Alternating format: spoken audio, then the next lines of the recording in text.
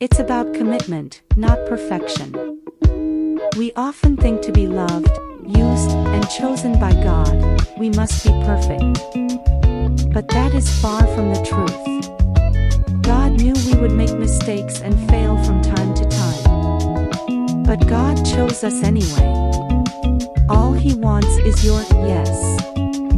He wants you to choose to stand firm in Him in the beautiful and difficult seasons of your life.